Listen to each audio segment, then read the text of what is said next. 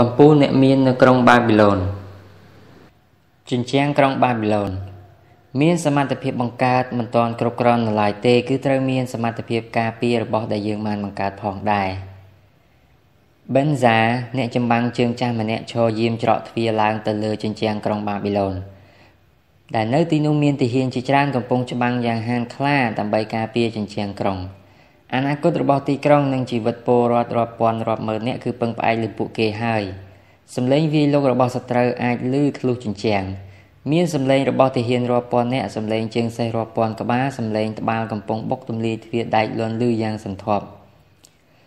នៅក្បែរទ្វារខាងក្នុងក្រុងឯណោវិញមានទាហានលំពែងមួយក្រុមធំឈរត្រៀមខ្លួនប្រយុទ្ធក្នុងករណីដែលទ្វារត្រូវរលំ ទាហានការពារក្រុងមានចំនួនតិចតួចទេព្រោះកងកម្លាំងធំរបស់បាប៊ីឡូនគឺកំពុងធ្វើដំណើរជាមួយព្រះមហាក្សត្រទៅកាន់ភូមិខាងកើតដើម្បីច្បាំងតទល់នឹងពួកអឺឡម៉ៃជាទុកទាហានមិនច្រើនទេដើម្បីនៅការពារក្រុងព្រោះទ្រង់យល់ថាបើពួកអឺឡម៉ៃមិនទាន់មកដល់ជញ្ជាំងជើងក្រុងទេគ្មានការវាយប្រហារធំដុំណាអាចទម្លាយទ្វារក្រុងបានឡើយតែនឹកស្មានមិនដល់មកពីភូមិខាងជើងគឺកងទ័ពដ៏ខ្លាំងក្លារបស់ពួកអាស៊ីរ៉ាន ដូច្នេះបើការពារជញ្ជាំងក្រុងមិនបានទេបាប៊ីឡូននឹងត្រូវដួលរលំនៅជុំវិញបេនសាមានមនុស្សកក់កុញមុខស្លេកស្លាំងដោយសេចក្តីភ័យខ្លាចអន្ទះអន្តែងចង់ដឹងពីដំណឹងសង្គ្រាមនៅសមរភូមិមុខពួកគាត់កាន់តែខ្លាចនៅពេលឃើញសាកសពនិងអ្នករបួសច្រើនឡើងច្រើនឡើងត្រូវបានគេជញ្ជូនចុះពីលើជញ្ជាំងក្រុង។ ពេលនោះការវាយប្រហារបានឡើងដល់កម្រិតកំពូលក្រោយពីឡោមព័ទ្ធទីក្រុងអស់រយៈពេល3ថ្ងៃសត្រូវបានប្រមូលកម្លាំងទាំងអស់មកវាយប្រហារព្រមព្រំគ្នាដើម្បីឡើងកាន់កាប់ជញ្ជាំងនិងទម្លាយទ្វារក្រុងទាហានដែលការពារនៅលើជញ្ជាំងក្រុងវាយរុញទម្លាក់សត្រូវដែលព្យាយាមឡើងជញ្ជាំងតាមចន្ទាឡើងជញ្ជាំងដែលប្រើព្រួញនិងដុតប្រេងតែបើសត្រូវណាបានឡើងដល់លើជញ្ជាំងពួកគេប្រើលំពែងដើម្បីចាក់សម្លាប់ ចំណែកឯខាងសត្រូវវិញដើម្បីសម្លាប់ទាហានការពារក្រុងបាប៊ីឡូនពួកគេប្រើទាហានព្រួញរាប់ពាន់នាក់បាញ់គ្រាប់ព្រួញរាប់ម៉ឺនដើមស្រោចស្រពមកលើទីក្រុងមើលទៅដូចជាគ្រាប់ទឹកភ្លៀងប៉ុន្មានថ្ងៃមកនេះបេនសាបានឃើញសកម្មភាពប្រយុទ្ធដ៏ខ្លាំងក្លារបស់សត្រូវបរិះចំនួនម្នាក់បានរត់ទៅរកបេនសាដោយដៃរបស់គាត់ឡើងញ័រប្រាប់ខ្ញុំមកប្រាប់ខ្ញុំមកគាត់និយាយអង្វរថាសត្រូវពិតជាមិនអាចចូលក្រុងបានទេ កូនប្រុសរបស់ខ្ញុំគឺកំពុងច្បាំងជាមួយនឹងព្រះរាជាដូច្នេះគ្មាននរណានៅការពារប្រពន្ធខ្ញុំទេ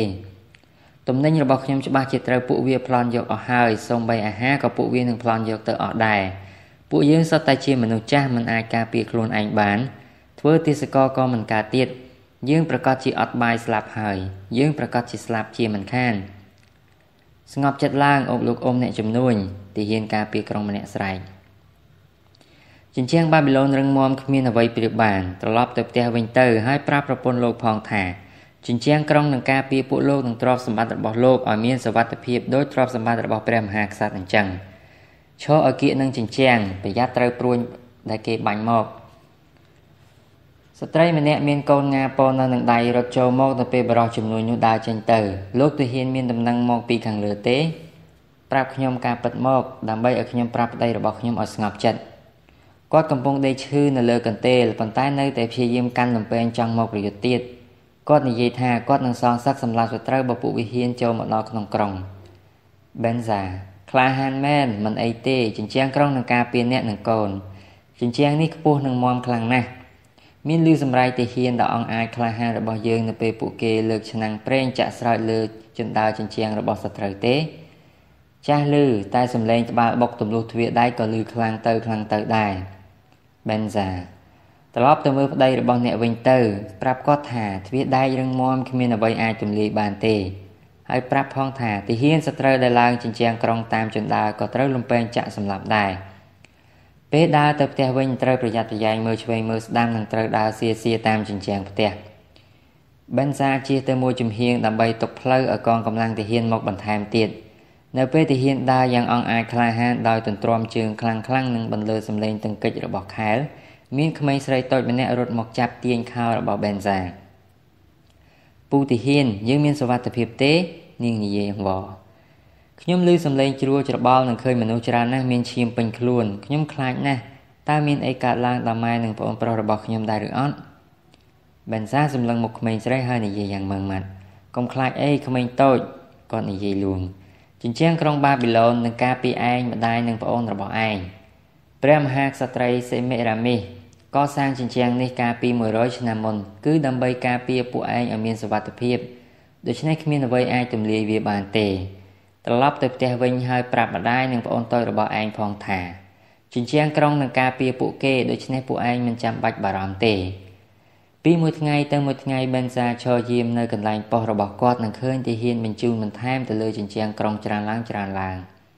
ទាហានទាំងនោះនៅការពារនិងប្រយុទ្ធទល់នឹងសត្រូវតតែរបួសឬស្លាប់ទើបត្រូវគេបញ្ចុះ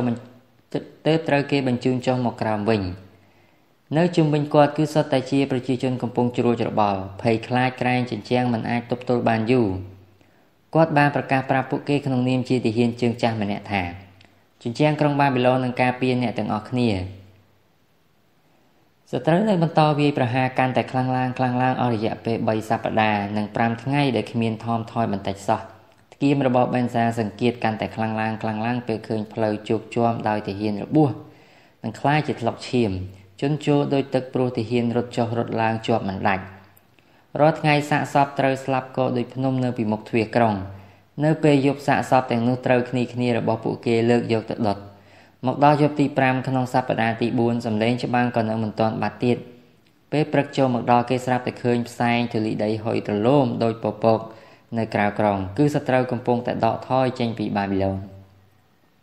ទាហានការពារក្រុងស្រែកហូពេលពួកគេឃើញសត្រូវដកថយហើយទាហានដែលកំពុងរងចាំបដូរវេនឡើងច្បាំងនៅខាងក្រោមជញ្ជាំងក៏ស្រែកតាម ប្រជាជននៅលើដងផ្លូវក៏នាំគ្នាស្រែកបន្តគ្នាបន្តគ្នាសំឡេងជ័យជំនះបានលន់លឺពេញទីក្រុងដូចជាព្យុះដ៏ធំមួយ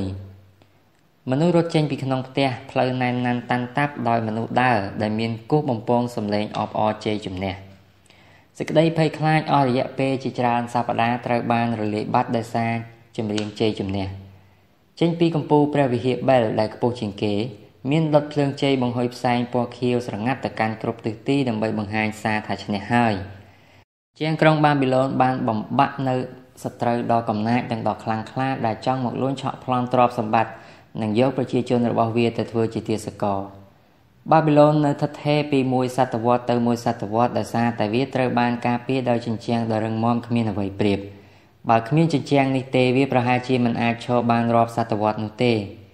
ជញ្ជាំងក្រុងបាប៊ីឡូនគឺជាឧទាហរណ៍ដ៏ជាក់ច្បាស់មួយបង្ហាញថាមនុស្សត្រូវមានសមត្ថភាពការពារព្រោះនេះគឺជាធម្មជាតិដែលមនុស្សត្រូវការពារជាចាំបាច់អ្វីត្បិតតែថ្ងៃនេះខ្លាំងជាងការពីម្សិលមិញក៏ដោយយើងក៏ត្រូវតែបន្តអភិវឌ្ឍផែនការឲ្យបានកាន់តែធំ